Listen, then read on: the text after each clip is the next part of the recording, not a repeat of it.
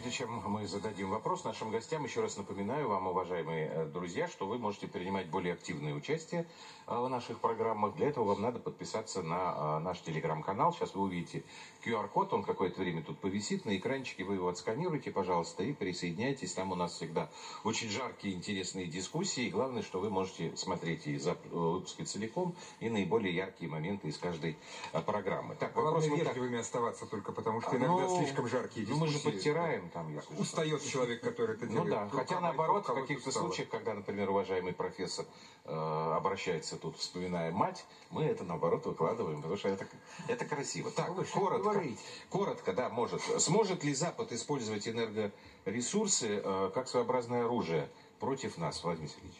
Нет, не сможет. не сможет. Скажу больше, пока толстый сохнет, худой сдохнет. Очень просто. Дело ага. в том, что наши ресурсы и наше рыночное сельское хозяйство нас поддержат. Все, Россия да. выдержит. Коротко так. Томас, пожалуйста, вы как считаете? Запад может попытаться, но это не сработает. Любая попытка политически регулировать цены в прошлом никогда не сработала mm и сейчас не будет работать. Это будет больше дефицита, Все, растущие цены со всеми последствиями для этого. Станислав Павлович? Ну, а вообще все ограничения в торговле, в том числе по энергоресурсам, это и есть попытка использовать в качестве ага. оружия эти инструменты. Они пытаются это делать, все эти эмбарго, санкции и прочее. Но если для России текущий конфликт воспринимается как экзистенциальный, связанный с нашим существованием, да. то для них это во многом чужая драка. И терпеть ради чужой драки долго Все слишком понял. сложно. Леонид Маркович? Ну, надо определиться, какие виды оружия применяются. А, потому что наша э, газ – это щит, угу. а они едут с копьем. Угу. А, то есть это попытка пробить этот щит. А, думаю, что мы для начала сделаем ничью. Хорошо, все. Идея с ценовым потолком, она новая, свежая, интересная. Я предлагаю, что называется, дополнить и углубить. Значит, на автомобиле BMW и Mercedes установить ценовой потолок полтора. А зачем полтора? Давайте просто миллион рублей, чтобы точно. Да даром, Влада Гранта.